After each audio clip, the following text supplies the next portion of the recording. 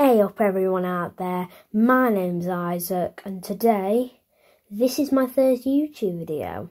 You might be saying, what is this kid doing on YouTube?